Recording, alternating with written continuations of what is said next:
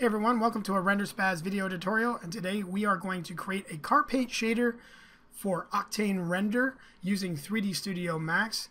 And if you are using another uh, 3D software uh, you can that has Octane Render you can uh, apply this tutorial and uh, get that same effect. Okay that we're gonna that we're approaching here for today's uh, topic. Alright so what we're going to do is we have a GT3 uh, car model in front of us here, and the look that we're gonna that we're going after is something like this: high gloss uh, finish to to your car paint. Uh, you can see there's a nice uh, fall off. There's a nice uh, see the um, the lighting is done very well with this render, and um, that's kind of the look that we're going for. Uh, and just to really get this kind of sense of realism um, and quality. All right, so we're to get started and we're to start creating a, a, a, base shader or base um, layer for our car paint. So we're going to select our material here and we're going to use the glossy material that uh, Octane provides. We're going to go to the diffuse map and we're going to see where it says here value. We're going to check that and on the drop down we're going to go into uh, texture and what we want to do here is create a nice fall off. So we need that kind of candy or that light kind of blue falling off to the dark. We're going to need that kind of look. So this is a good starting uh, point to get that look is we're going to go through the diffuse and we're going to find ourselves some nice fall off properties here. So we do see the fall off map, but before we do that, we got to go to our texture, our mixed texture that is, and where it says amount, we're going to change that over to texture and go into the properties, and this is where we're going to type, or uh, not type, but are going to check into our fall off map here. We're just going to check that, and then we're going to apply um, our fall off here. But before we do that, I got to add my colors. So we're going to come over to our first texture. We're going to bring this color drop down. Okay, and then what we're going to do is grab a nice blue color Okay, something a little light. Try that for now. We're going to go to our second color. Okay, um, and we're going to make this a little bit of a darker blue. Something like that. Okay. So our fall off map is pretty much already controlling our paint as you can see here. We got the light values. Uh, we get some light and then it goes dark. But we're going to have to fix this a bit. So we're going to have to come over to our paint here and you can see, see if I can get, there we go, a sphere here. Okay, our preview, and what we need to do is change this to 5.5. Okay, so we're going to just take the fall off skew and change that. Then we're to bring up our normal. Okay, we're to start pulling in the dark value, but I need to actually find nice property to see if I can, there we go. So if I bring this down, you can see already here we're getting some change.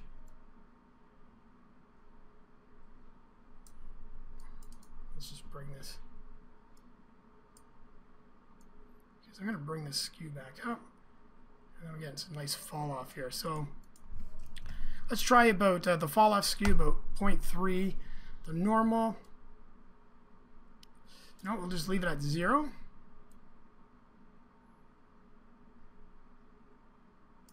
Okay, and then um, also the grazing, we can just leave that at one as well. So you can see right now we got a little bit of a nice uh, fall off, the light blue, and um, that's just a good start. And you can see these little points here where there's these little highlight areas, they kind of go lighter, and that's, we're looking something like that. That's kind of what we're going for there. All right, so now the next property that we're going to aim for here is we're going to change our specular. So our specular can go to a color as well. We're going to do the lighter blue, something like that. Okay, and that's going to change our specular tone here. And then um, we'll have to take our index. We're going to bring that up to like a 6. Okay, and you can see now we're getting a really nice metallic look. Um, and then our roughness, Actually, I might do this to 8. But what we need to do here at this point uh, is that we're going to change our specular and we're going to, or sorry, not our specular, our roughness, and we're going to add a texture to this. And we're actually going to add a galvanized steel. Now I got this um, uh, off of uh, a Corona render um, or Corona tutorial showing the way you can get uh, flakes in your paint. And that was uh, pretty much right off the developer's uh, website uh, showing that. So it kind of inspired me to create one for uh, Octane here. So um, using the galvanized steel texture, which you can find uh, anywhere on the net, pretty much those CG textures is where you would like to pick that up. And you can use galvanized steel for adding the flakes. All right, so it's just gonna it's gonna fake the um, the flakes. Okay, so what we're gonna do is we're gonna add a grayscale image, and then I'm just gonna come in and I'm gonna plug in a galvanized steel or galvanized steels. I'm saying that right. just, all right, so once the galvanized steel texture is applied, you can see that we're getting some streaks. Everything's kind of looking uh, funky here. So we're going to have to fix that by our projection. We're going to have to change that over to a box.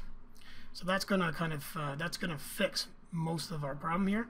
Um, we're not going to go with any UVW mapping uh, tra traditional way in 3D Studio Max. We're actually just going to run these properties right through Octane Render itself. Um, so you can see we already have some uh, some interesting look right now. As you can see that we're getting some of the uh, galvanized steel texture to come through, but uh, they're very large flakes at this moment, so we're to have to change that. So we're to come over to our, let's see, it's uh, our box properties here, where it says normal box. We're to add in our scale, and we're to just scale this guy down. So point, uh, I'd say 0.03 or so.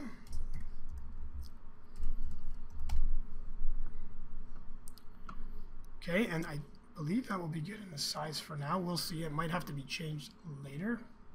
But right now we're not seeing it as much now because now that it's smaller, you know, everything needs to be, uh, we need to jack up the contrast of the actual texture to pull out some of those uh, specular values. So, or the, the, the whites of the actual texture.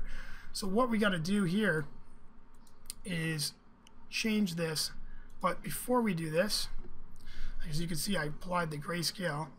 Um, I don't know if I really actually want to go this route.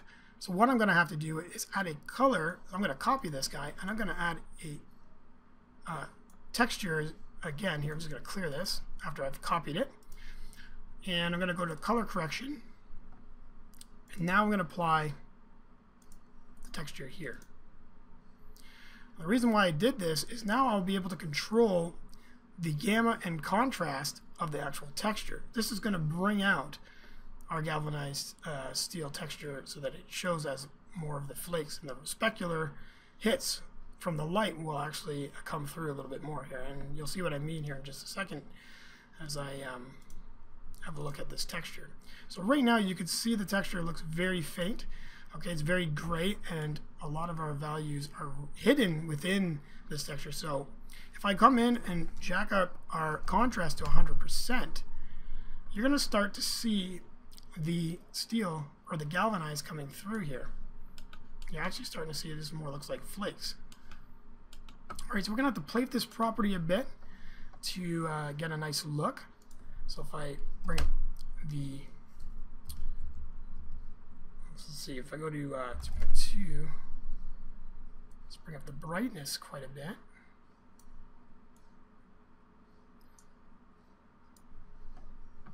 you can see we're starting to get a nice look here of the uh, of the flakes.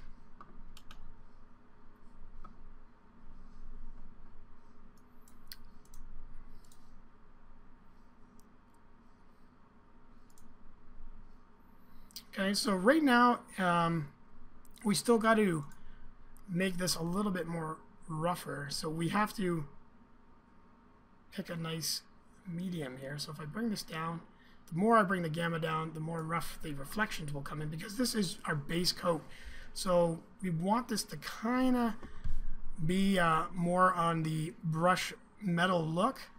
until we start applying our clear coat as a second secondary texture that will be added in a mix. Okay.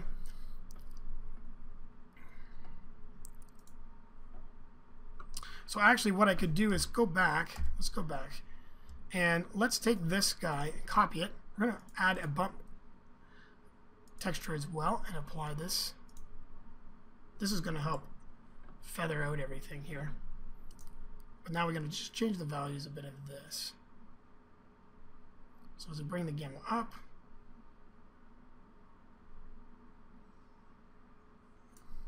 okay, to about let's go to about three for now. Okay, you're gonna start to see some really nice, really nice look happening here. I might need to bring these flakes a bit down. Yeah, I'm going to bring these down just a bit more in scale.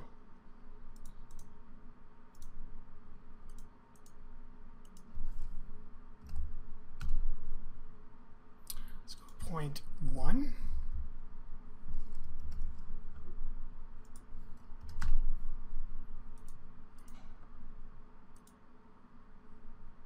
Okay, and we're also going to do that with the roughness as well.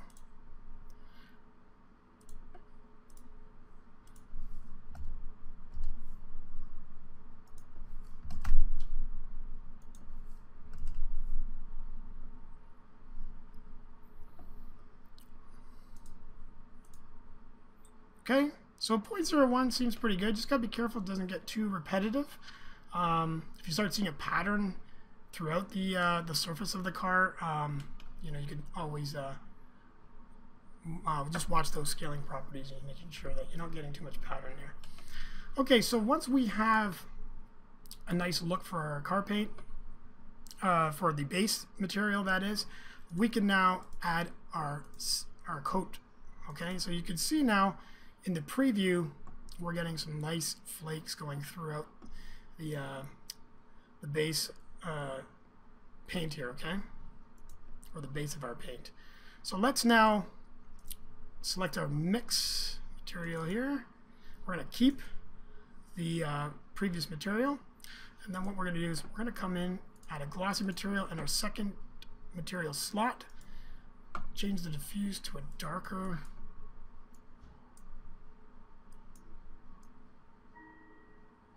something like this. And then what we're going to do is change the roughness to 003.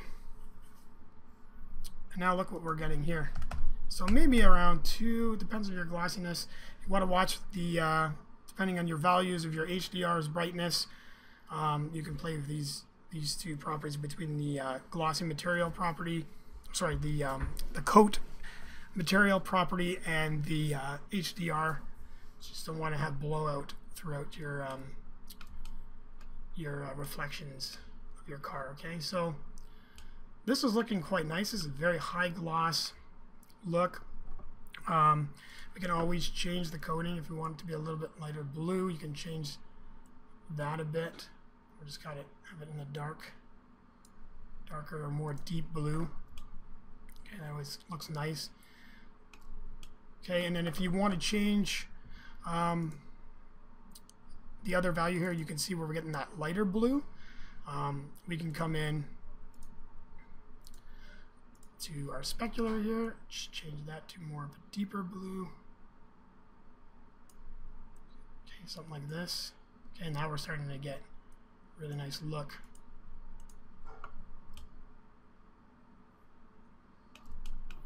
kind of get down close to the paint.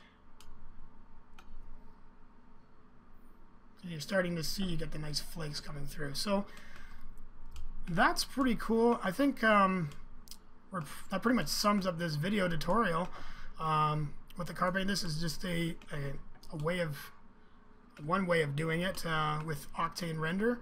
Um, at some point they'll probably bring out a car paint shader uh, that is um, integrated with Octane, but for now, um, this is one way you could uh, add flakes and get nice richness to your car paint uh, going this route. And uh, hopefully you learned something from this tutorial, guys. Um, stay tuned for more tutorials and also check out my previous ones at www.renderspaz.com. Uh, feel free to leave a comment below if you like this video. Please like it. If you disliked, uh, then the thumbs down. Um, but other than that, guys, thank you very much for your time. Hope you learned something from this and take it to your uh, automotive or whatever it may be um, 3D models and renders and uh, add it to your work. Okay, guys, thank you very much, and we'll see you next time.